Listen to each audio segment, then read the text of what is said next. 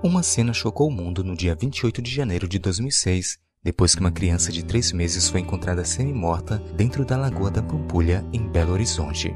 A menina que se encontrava com uma tiara cor-de-rosa na cabeça dentro de um saco plástico foi salva por um vigilante que escutou o choro e pensou se tratar de um gato. O salvamento foi filmado por um cinegrafista amador e provocou comoção internacional. Como pode uma mãe agir de tal forma com uma criança indefesa? No meio de tamanha demonstração de crueldade, surgiu um belo ato de amor de uma família que, assim que viu a reportagem na TV, providenciou os meios para adotar a menina. Em uma rara entrevista concedida em 2014, o pai da garota revelou que até hoje ela não sabe como foi encontrada. A razão é que ele deseja que o passado de sofrimento fique esquecido e que ela viva rodeada de amor da família que a adotou. O amor é um sentimento muito poderoso e na Bíblia, diversas vezes, Deus surge como pai com um coração carregado de amor por seus filhos. Este aspecto divino pode ser visto no capítulo 23 do livro de Deuteronômio.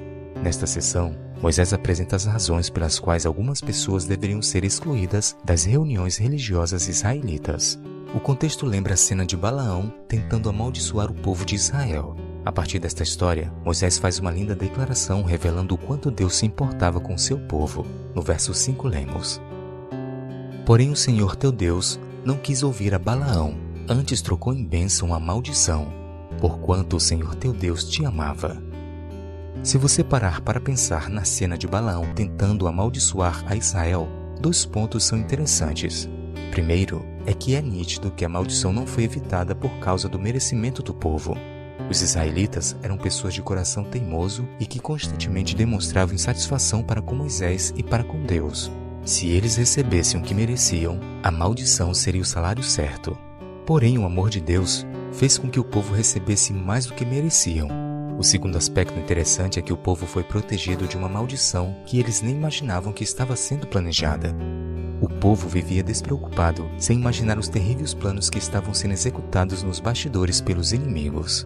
Porém, o amor de Deus os protegeu mesmo sem que eles soubessem.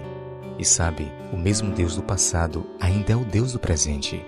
Ele te ama e deseja te dar mais do que você merece e te proteger de perigos que você não conhece.